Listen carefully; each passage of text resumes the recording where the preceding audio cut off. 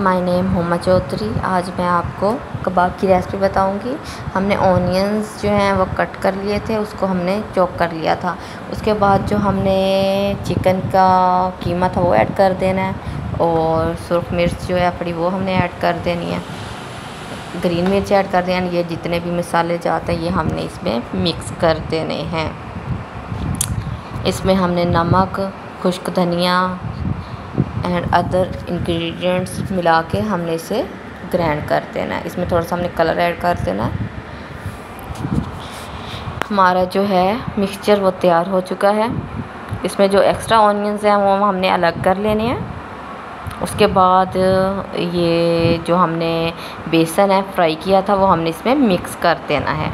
इससे ये है कि हमारे जो कबाब हैं, वो टूटेंगे नहीं। मिक्स कर देना है।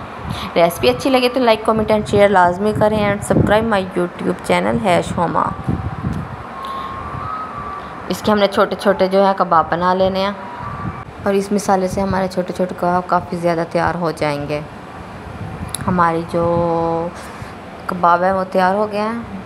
उसके बाद हमने ऑनियन या तवा लेना है, उसमें हमने ऑयल ऐड करना है और एक तरफ़ हमने चटनी बना लेनी है। ये हमने फ्राई कर लेने हैं